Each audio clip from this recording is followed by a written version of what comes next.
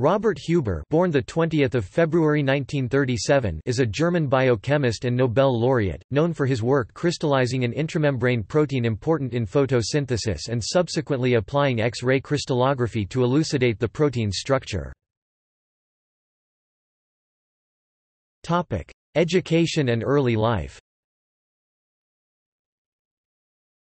He was born on 20 February 1937 in Munich where his father, Sebastian, was a bank cashier.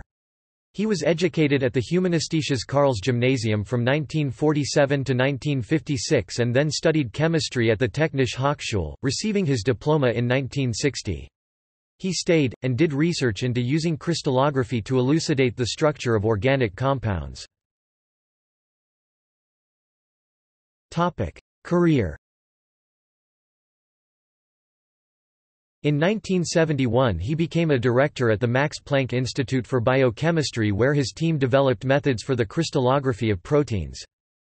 In 1988 he received the Nobel Prize for Chemistry jointly with Johann Deisenhofer and Hartmut Michel.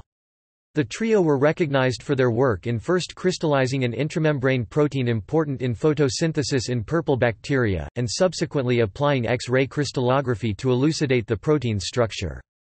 The information provided the first insight into the structural bodies that performed the integral function of photosynthesis.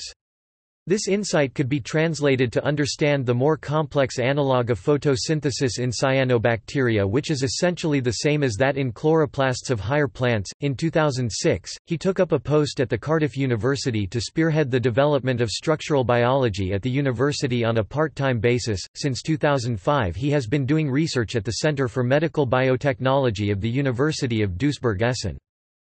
Huber was one of the original editors of the Encyclopedia of Analytical Chemistry. Topic. Awards and honors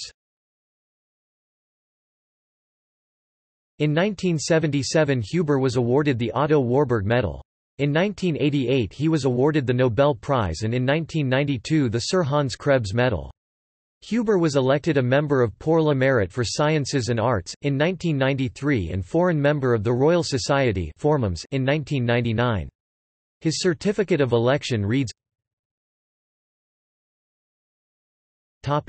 Personal life Huber is married with four children. References